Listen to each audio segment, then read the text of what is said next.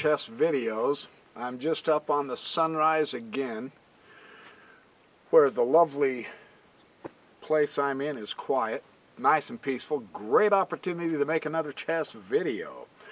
I've been studying various Grandmaster games because Jeremy Silman in his chess course, the one I'm studying, has advised us to seriously make a detailed attempted work through the Grandmaster games. This particular Grandmaster game that I'm about to show you is a very, it's somewhat of a short game, but it's an important game.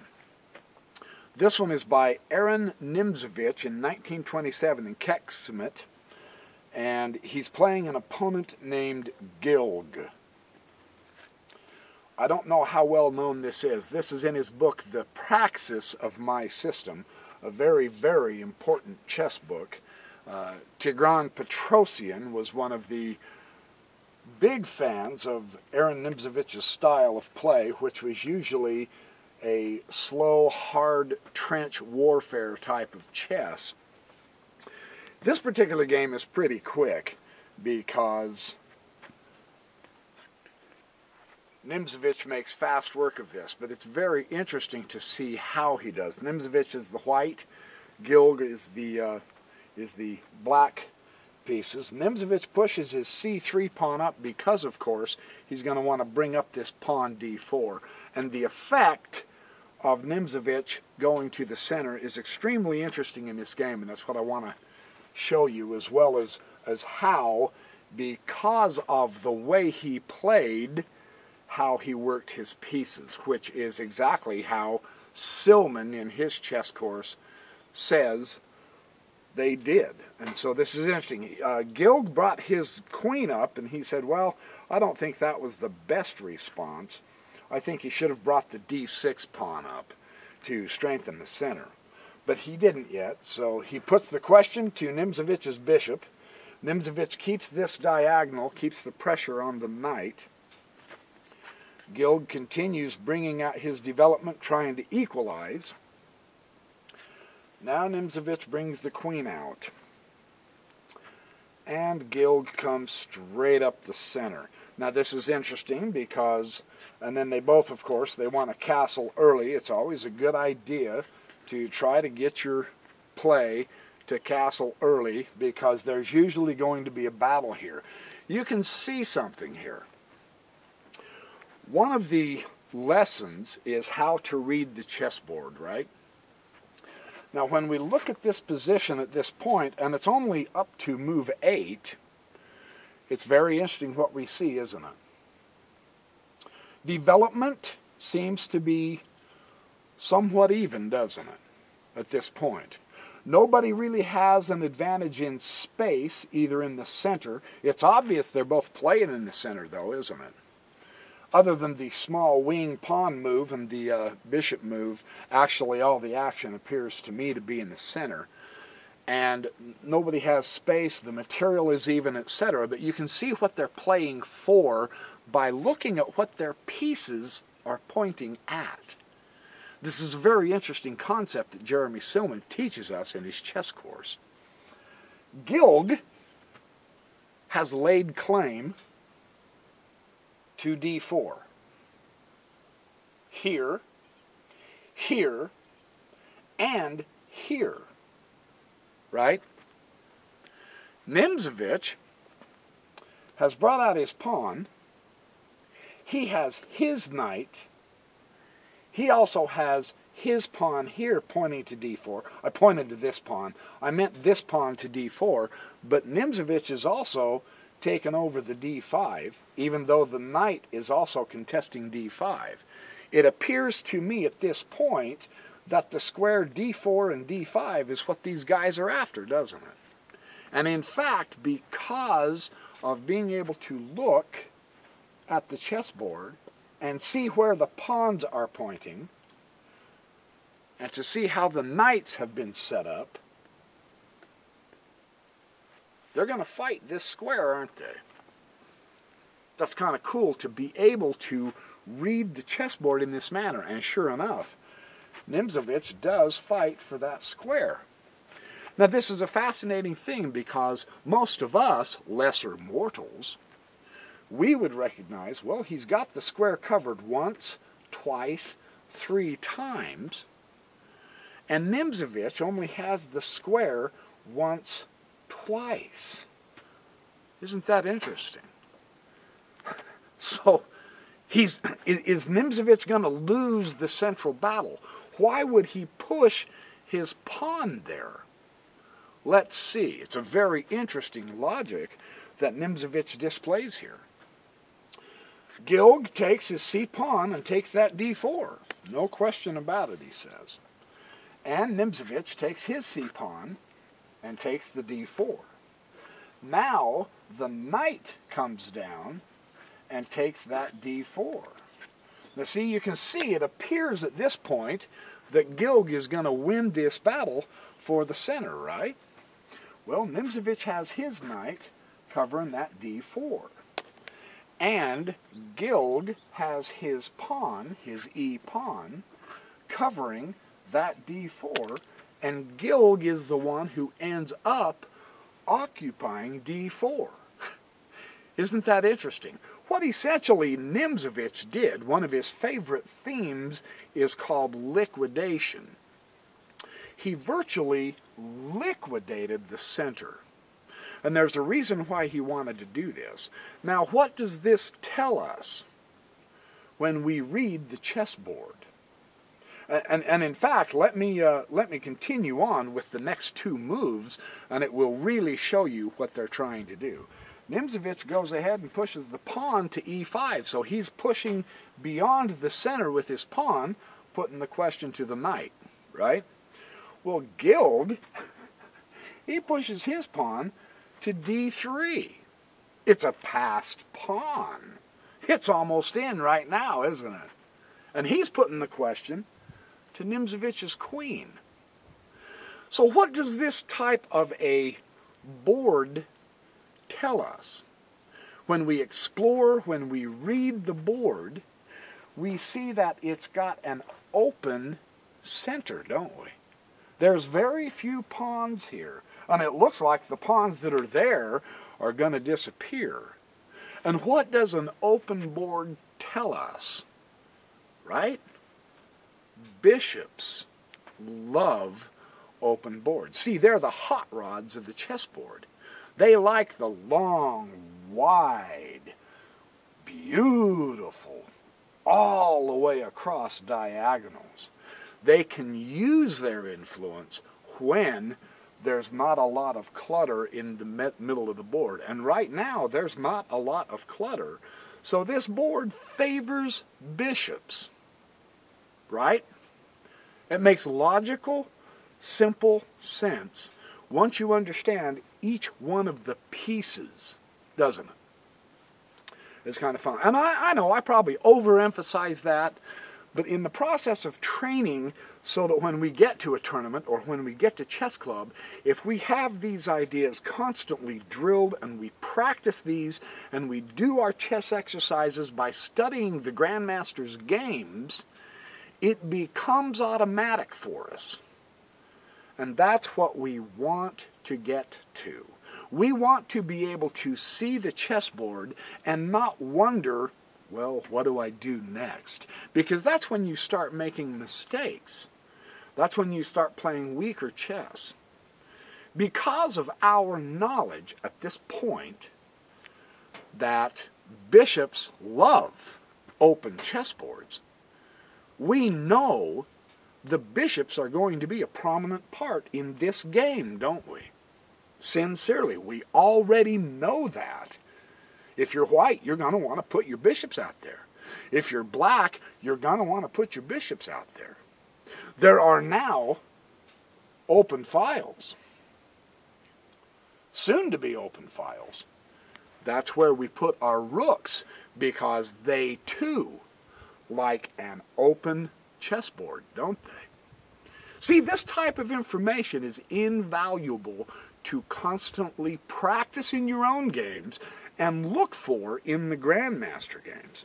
I know, I know. Shut up and get on with it. Okay. The queen doesn't take the pawn. It comes up to e3. The knight comes over here to d5, of course, asking Nimzovich, what are you going to do with your little lady, dude? So now we're getting back to the center. Isn't, isn't that interesting? Well, he hops over here to g3. Notice his placement of his queen here. He didn't put his queen back. He didn't move her back to d2 to cover that passed pawn. He doesn't need to. That pawn's not going anywhere. We, we know that. He's not going to go here. We've, we've got this place covered, right? We've got the rook on the eighth rank and all that. He keeps the queen out in the field developed, and he supports his pawn, and he's pointing to the queen, right? There's no reason to give up that pawn if you don't have to, right?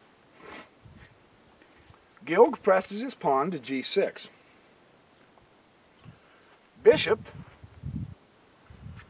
goes down to b3. Now, here we begin to see the strategy.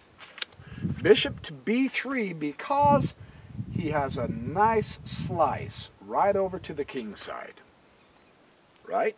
He has a nice approach right to the king side. Right? Yeah. Very interesting. Now, the knight pops over here to b4. And watch, pay attention here, this is important. And I'm not criticizing another grandmaster. I'm, I'm not in these guys' level. But based on what I've been learning so far, he has not castled, he certainly hasn't developed, he hasn't pushed central pawns and brought his bishop out. He appears to me to be leaving himself undeveloped too much to go prancing around with his single piece. You can't win a chess game playing a single piece over and over and over again. He's looking for a quick combination move somehow. He's got this passed pawn, so he thinks he's going to do something really cool by putting his knight here and taking the rook. But in the process, he has moved the knight how many times? Four, five. He's moved the pawn how many times? One, two, three. You know, he's consumed eight moves in order to get a one-piece, quick shot attack. You see that? Because of the way he's playing, Nimzovich has developed a stronger board because while he's monkeying around with the knight, Nimzovich is putting together an entire attack. You see that? And, and it's not up to me to criticize another grandmaster because I'm so far below these guys. Based on what I know, I think that's what I'm seeing here, though. Right? And it's going to cost him. Watch what Nimzovich does. Bishop takes f7. Pow. I mean, wowie. Zip.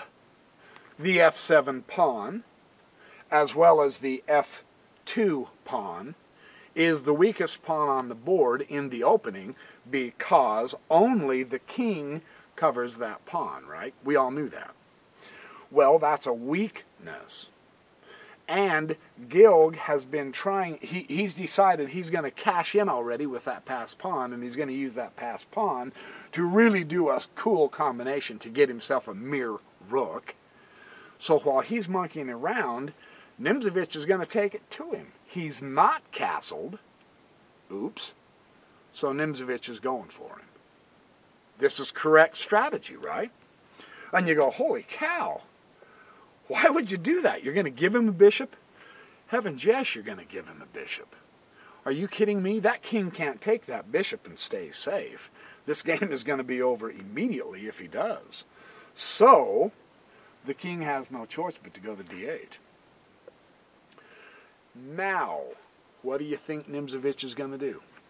Based on what I've told you when we explore this chessboard, He's got this covered really well. He's deep in his territory.